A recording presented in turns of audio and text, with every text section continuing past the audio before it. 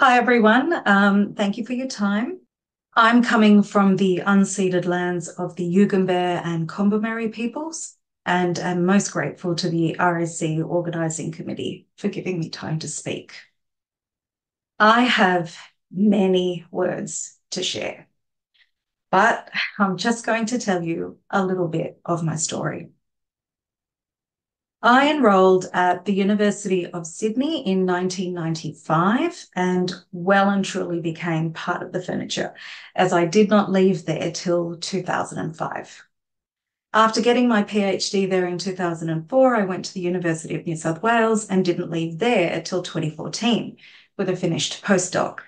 And I only moved to Queensland on account of a lovely man that I had met who came with three little people. In migrating north, I worked at Griffith University until 2020 when I took a voluntary redundancy package because of the COVID 19 pandemic and used all $100,000 of it to build Scholar Freedom. To say I believe in research is an understatement. But about 20 years ago, I felt the winds change, and they were cold.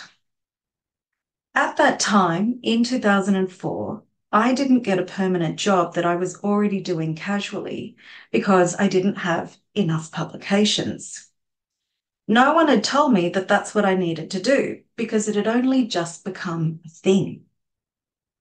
I was teaching first year psychology cohorts of between 1500 and 1800 students and getting near perfect evaluation scores, but this didn't matter anymore. It just got worse from there.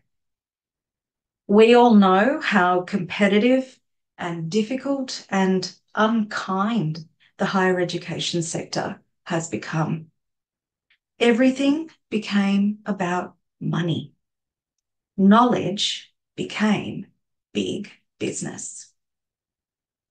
When I eyeballed the list of topics to make a submission to this conference, I was like, oh, which one do I pick? I can talk about all of them. Do I pick open access, prestige metrics, peer review, paper mills? I went with gatekeeping. Because if we anchor this conversation in academic freedom, then the other issues make sense. So I'm going to take you now to 2017. I submitted a future fellowship application to the ARC. I didn't get it, but that's fine.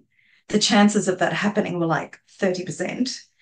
But if I did get it, it was going to finally give me a salary that was commensurate with my experience and allow me to do research on things that matter. The lack of success was not the problem. It was the number of hoops I had to jump through just to submit the application.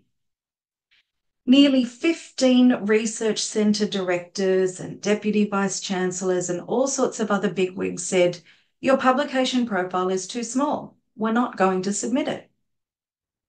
It didn't matter how much I said, but I'm part time. I've got four kids. Pro rata, this list is excellent. They knew my list wasn't 15 million pages long and so was unlikely to be successful. I believed in the work so much that I did some of it on the research hours of my normal contract.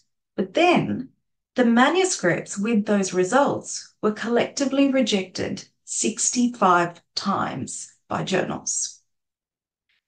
Part of why my track record looked low to these decision makers was because of how hard it had always been for me to publish my research.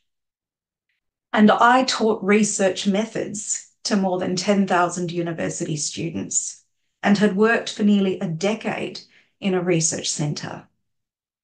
I knew what the principles of good research were and was committed to them. So it wasn't because my work was crap. It was because there was always someone in power deciding if my work was allowed to be seen and therefore how much my labour was worth. In 2017, I also wrote a book.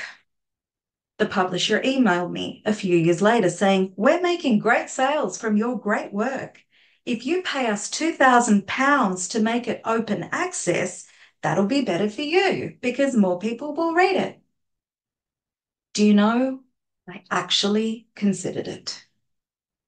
I'm on a part time wage and the breadwinner of a six person household, and the carrot of maybe another citation that maybe might get me a grant, that maybe might get me a promotion, was something I had become hostage to.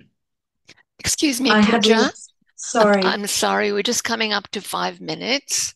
I've only got one paragraph left. Okay, go ahead. Thank you. I had lost all agency and power.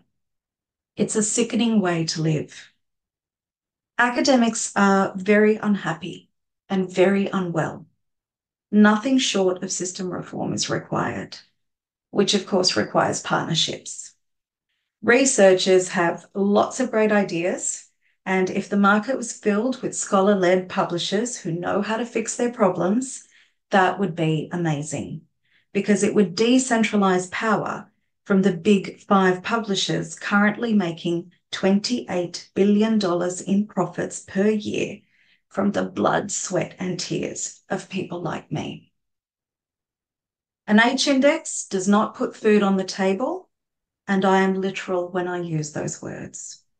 I'm a tiny cog in a massive machine, but lots of tiny cogs can screech the wheels. That is my dream. Thank you.